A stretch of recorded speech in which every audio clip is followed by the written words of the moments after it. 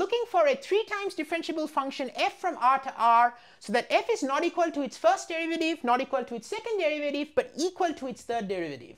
So in other words, it cycles after three times if we keep differentiating the function, and we're going to use the complex numbers to find it out. And it's super beautiful. Even though it's going to be a function from r to r, we're going to dive into the world of complex numbers. So here's going to be the trick. The trick is going to be that we are first guess, if we think about functions that are equal to their own derivative, that would give us examples of functions equal to their third derivative, but not of course the first two properties we can look at a function like f of x equals e to the x.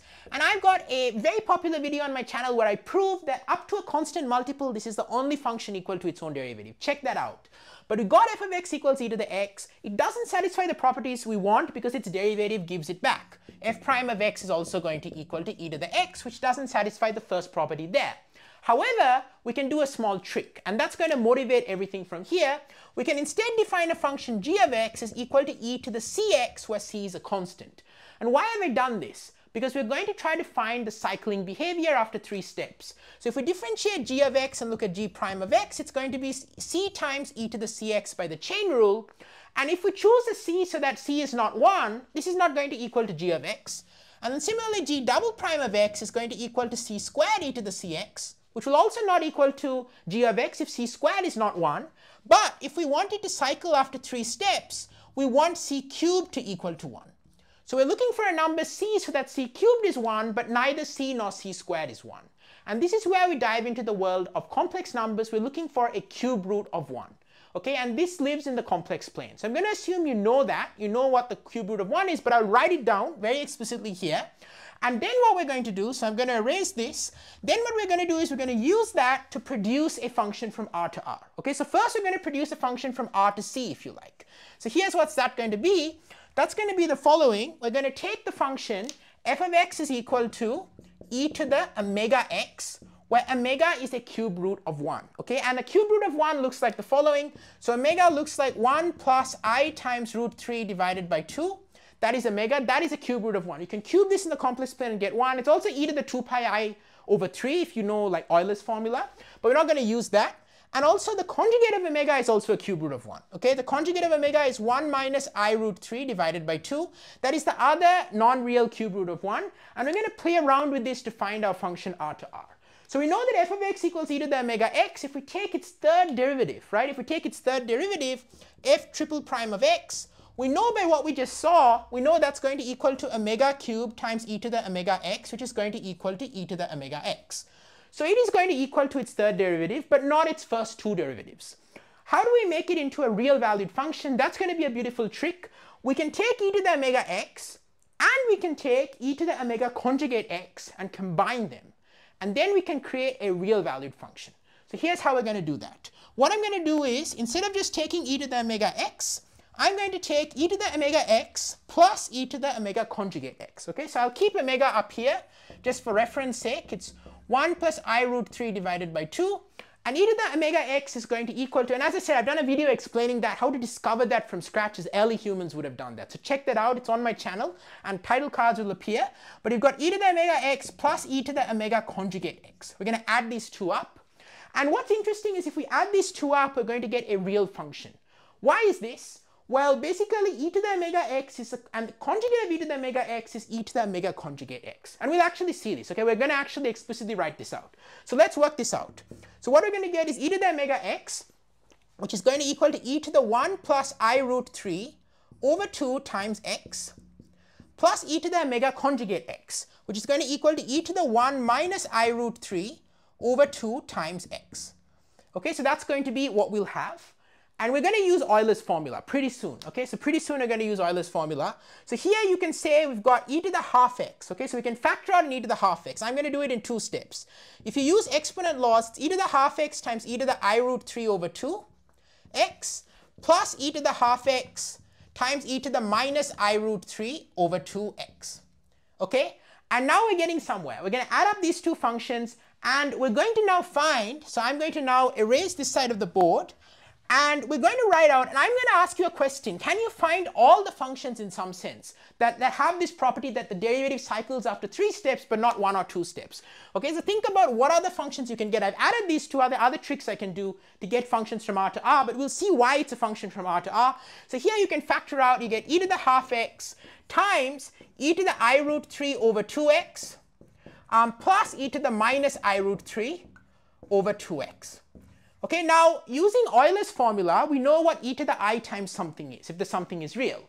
We know that e to the i root 3 over 2x is equal to cosine x or cosine of, rather, cosine of root 3 over 2x, so cosine of root 3 over 2x plus i sine root 3 over 2x. Okay, so plus i sine root 3 over 2x. That's going to be Euler's formula. Now using Euler's formula, we know that e to the minus i root 3 over 2x is going to be the complex conjugate of that, okay? So you complex conjugate the exponent, you're complex conjugating the whole thing. So when you add on a number and its complex conjugate, you get twice its real part. Okay, so you can also sort of see, I can sort of write this out in a sort of quick way. e to the i root 3 over 2x is going to equal to the same thing, cosine root 3 over 2x. Cosine is also an even function, so cosine of minus something is cosine of that thing. But sine is an odd function, so it's going to be sine root 3 over 2 times x. Okay, so that's going to be what we'll get. And now that you've got this file, you can add those two up as we want to do. And now we're going to get our super cool function, and it's really beautiful. It's not something that I think is necessarily that easy to come up with if you don't know the complex numbers. You know, even though it's a real function, we had to dive into the complex numbers to solve it.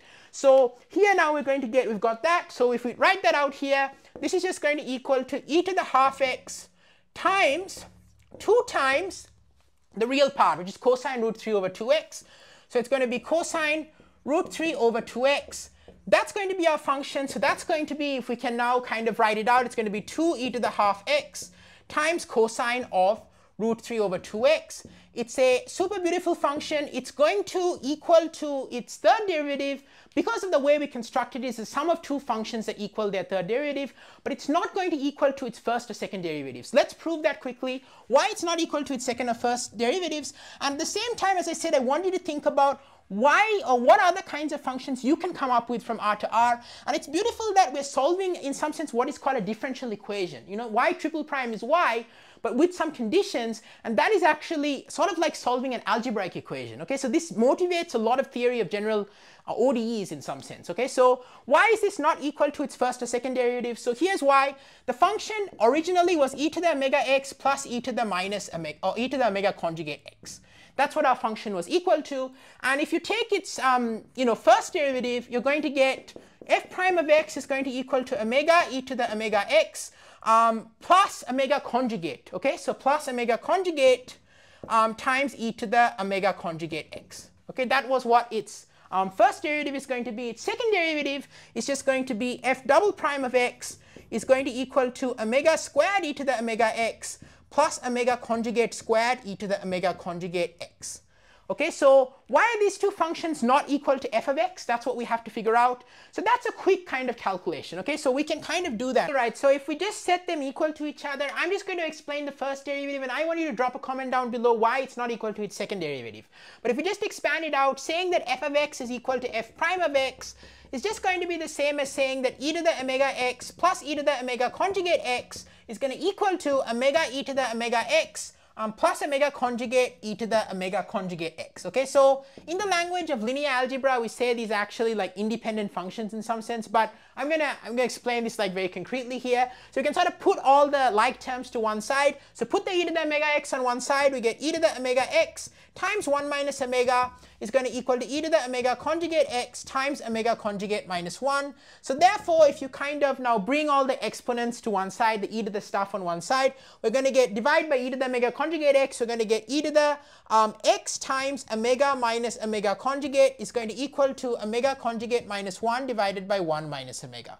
Now you can see that actually this cannot be a constant function. Okay, so we're saying this is a constant function which cannot be the case. You can find an x so that this is not equal. What's that x going to be? I want you to drop a comment down below and also do the same argument to explain why f double prime of x is not equal to f of x. That concludes the video. We've got a function from R to R which is now erased. Super cool function. Can you come up with that without doing this argument? Do you have other ways of coming up with a function that cycles after three derivatives? Drop a comment down below and tell me what all the functions are. Okay, proving that they are all the functions may be hard, but what do you think, how can you categorically describe all the functions that are equal to their third derivative but not their first two? And don't forget to check out my video on why e to the x is the only function equal to its own derivative up to multiplication by a constant. So either e to the x or multiples of e to the x. I've got videos on my channel at all levels of math. Don't forget to check it out and subscribe for constant exposure to all sorts of cool math ideas. I'm always thinking about math. I'm a research mathematician. I think about all kinds of weird ideas and do videos on them as well as standard math to give you the foundations you need to master high school and college math. Okay, so there's something for everyone and I'm super excited to see you in the next video.